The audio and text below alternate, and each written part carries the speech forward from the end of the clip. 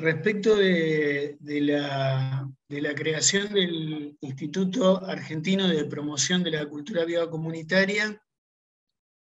eh, lo, que hay que, comentar o que les queremos compartir es que eh, es una propuesta que eh, la Asociación Civil, el Culebrón Timbal, le presentó a un organismo de cooperación alemán que se llama Miserior, y que este, afortunadamente fue, fue aprobado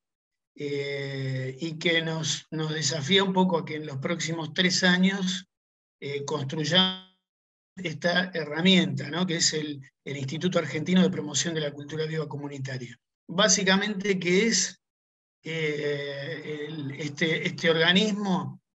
Para decirlo sintéticamente, es un organismo técnico eh, de apoyo eh, a los procesos y organizaciones de cultura viva comunitaria eh, en todo el país. La idea es que, que funcione como un organismo de tipo federal y que pueda dar a las distintas organizaciones en, en, varias líneas de trabajo el apoyo que muchas veces necesitan, que a veces pasa por el apoyo legal, eh, sobre todo en cuestiones que tienen que ver con la regularización dominial, con eh, algunos conflictos que se dan por el cierre eh, de lugares donde funcionan proyectos culturales comunitarios. Entonces, bueno, hay una parte legal, también hay una parte contable de poder brindar a las organizaciones de todo el país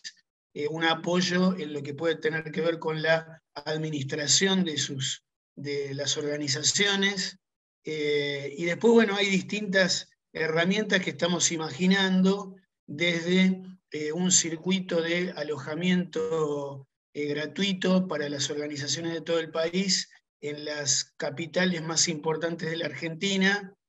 por si, si alguna organización tiene que hacer un trámite en Córdoba, en Buenos Aires, en Rosario o en Mendoza, el instituto pueda coordinar eh, un sistema de alojamiento solidario para que eh, sin costos esas compañeras, esos compañeros eh, puedan estar tres o cuatro días haciendo sus gestiones en cada lugar. Después, bueno, hay una, hay una, la idea de generar un área de gestión de proyectos, de formación, de comunicación, en fin, todos esos aspectos que, que muchas veces este, para un colectivo que quiere hacer un proyecto de cultura comunitaria, en la práctica después se vuelven un, problema a resolver y que, y que en muchos casos eh, no, encuentran una, eh, un apoyo. ¿no? Ahora, también eh, nos imaginamos ese instituto como un ámbito desde el cual podamos establecer convenios con municipalidades, con organismos públicos, eh, que se pueda también desarrollar una estrategia para recaudar fondos que permitan que eh, nuestras organizaciones puedan asistir a los congresos latinoamericanos, que se supone que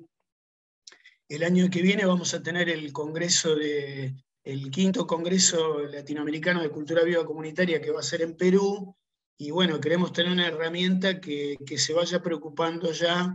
en cómo conseguir el financiamiento para que podamos asistir eh, todas, las, todas y todos los que quieran. Eh, hay un montón de tareas en las que, en las que hacía falta eh, un organismo estable que trabaje todos los días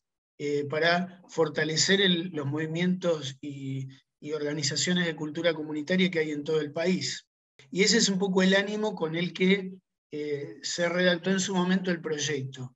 Lo más interesante es que ahora se abre toda una etapa al interior del movimiento para definir eh, participativamente el estatuto de ese instituto, los modos de representación, los mandatos, eh, las áreas de trabajo, en fin, un montón de eh, cuestiones que hacen a la dinámica de esa organización, de, de esta herramienta. la idea es discutirla eh, de una manera lo más participativa y lo más federal posible eh, para que sea asumida por el, por el conjunto del, del movimiento.